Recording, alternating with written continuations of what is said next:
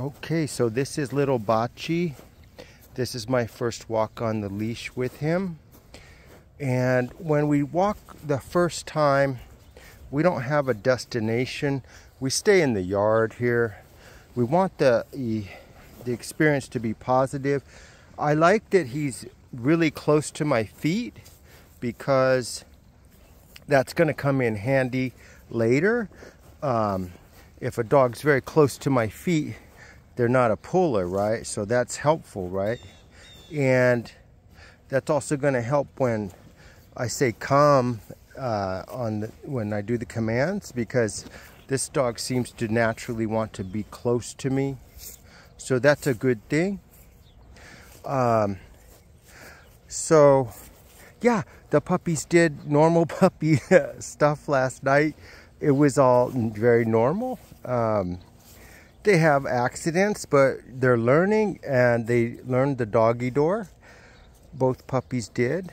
Um, they're learning not to mouth and nip, uh, you know, and they're learning to play nice with the other dogs and each other. Uh, and they're just really good. You're a good puppy, aren't you? You're a good puppy. What's the matter? What's the matter? It feels weird, huh? And so we spend a couple days like this before we go out to the road and walk. It's, I know, it's weird, right? It's weird, huh? So I do my best to just keep them moving, you know. Uh, they whined a little bit in the crate, but I gave them a chew toy and they settled down and uh, he's he's already getting his confidence. It's okay. It's okay. It's just a leash.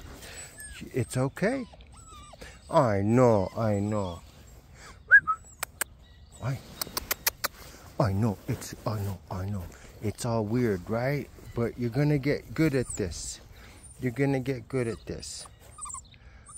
You're very cute. Yes, you are. Yes, you are. I know what. It's a little chilly.